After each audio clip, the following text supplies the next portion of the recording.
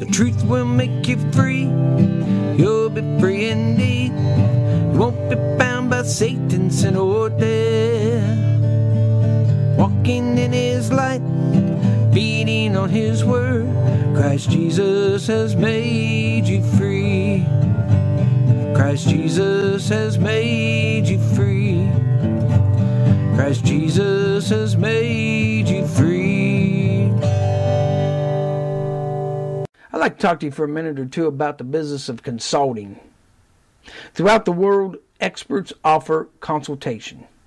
You can find professionals who will provide advice uh, in about every area these days. I myself am a firm believer in common sense, although it probably shouldn't be called common sense today since it doesn't appear to be as common as it once was. In fact, most consultation would probably be unnecessary if we still had common sense. In Joshua 9 and 1, it says, They did not ask for the counsel of the Lord. For me, this alone violates common sense. When we look at the history of Israel and consider that they did not consult the Lord for his counsel, it's mind boggling to me. Consider the many miracles and victories God had given them up to that point. Common sense would dictate that they would first seek counsel from God before anything else, but they didn't.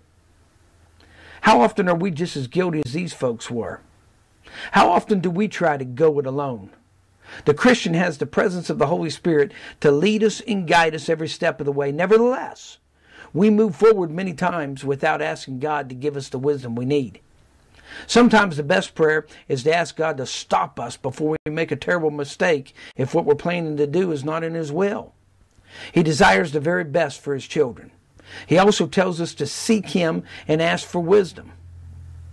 When we ask for bread, He doesn't return a stone to us. He gives us what we need, but He does require us to ask.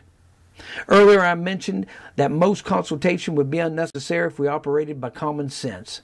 I believe the Christian can actually do this because God is with us. Paul told Timothy that God had not given him a spirit of fear, but of power, love, and of a sound mind.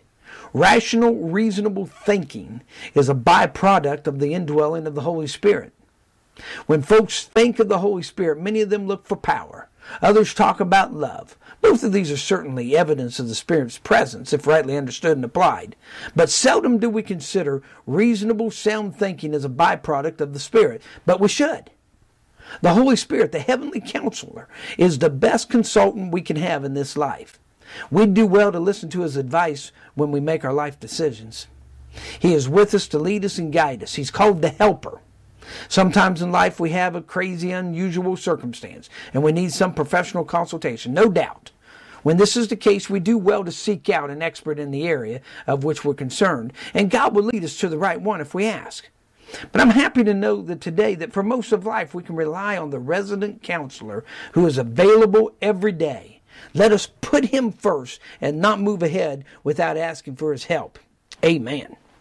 The truth will make you free. You'll be free indeed. You won't be bound by Satan, sin, or death. Walking in his light, feeding on his word. Christ Jesus has made you free. Christ Jesus has made you free. Christ Jesus has made